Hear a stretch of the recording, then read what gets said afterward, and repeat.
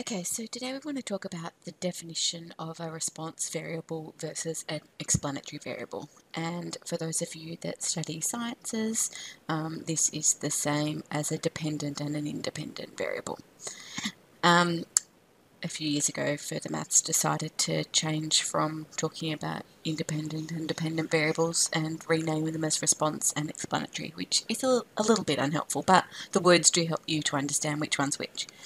Um, so in the previous two chapters, we've been looking at univariate data, so where we have a single data set, um, or data to re relating to a single variable, I should say. Um, and now we're going to start to look at bivariate data, so where we're comparing two variables, trying to look for associations or correlations, um, etc. So um, when we're looking at the relationship between two, two variables, one variable is usually defined as the explanatory variable, which would be the independent variable for those familiar with that term, and the other is the response variable, so the dependent variable. Um, so for example, if we were going to look at the relationship between salary and age of employees in a particular company, it would be reasonable to expect that an employee's salary might depend to some extent on their age.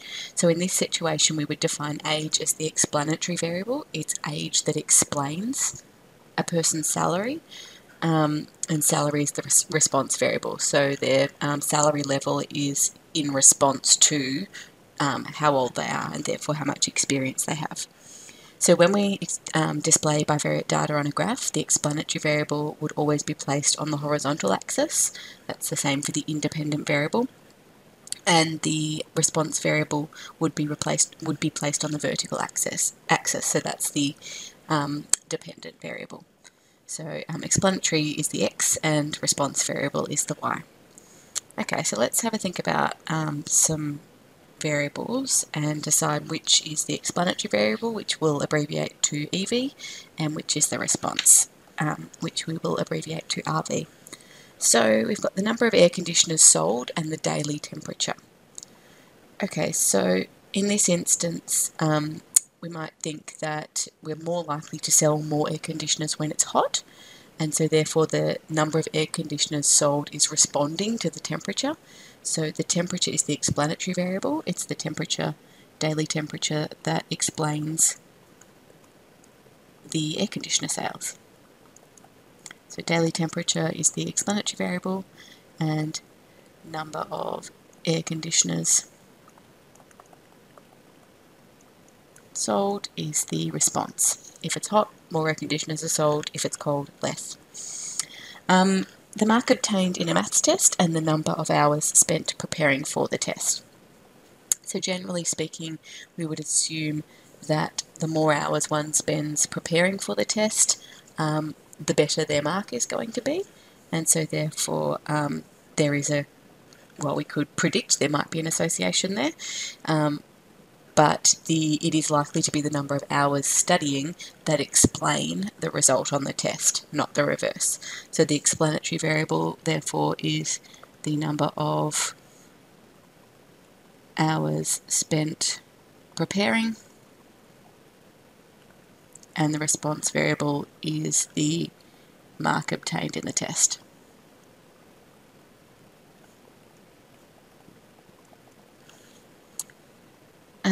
C, the cost of grapes in dollars per kilogram and the season of the year. Okay, so um, cost of any fruit and vegetable is likely to fluctuate throughout the year depending on whether that um, fruit or vegetable is in season. And so therefore the cost of the grapes is likely to be driven by the season. Um, so it's the season that is explaining the cost. So explanatory variable is the season and the response variable is the cost. Um, the number of members of a household and the size of the house. Okay, so in most instances, the size of house that a family chooses to live in, or if they can, um, is dictated by the number of members in the household. So if you've got a household with just two members, you probably don't have a very large house. If you have a six member uh, family, then you probably have a larger house. So obviously there are exceptions to any of these rules, but it's generally speaking, you know, which which is driving the decision for the other one. So it wouldn't be that if I've got a large house, therefore I um, must increase the size of my family. It wouldn't be that way around. Um, it would be if I've got a large family, that's likely to drive my decision about my house. Okay, so therefore the explanatory variable is the number of members of the household.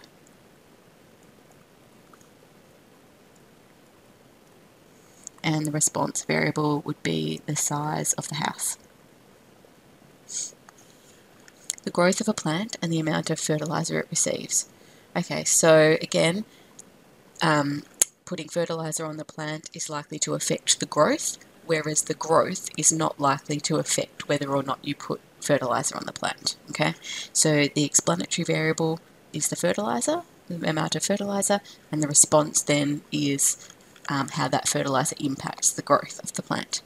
So explanatory variable, amount of fertilizer, oh, sorry, amount of fertilizer, and the response variable is the growth of the plant.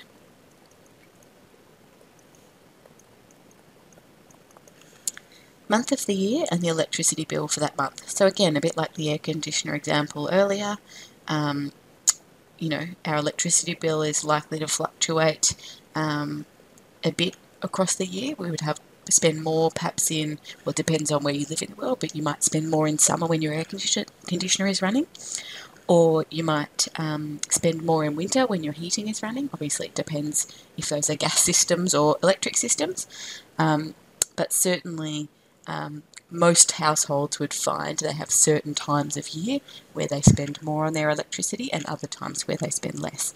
And so therefore the month is the explanatory variable and the, the um, should really be the value of the electricity bill.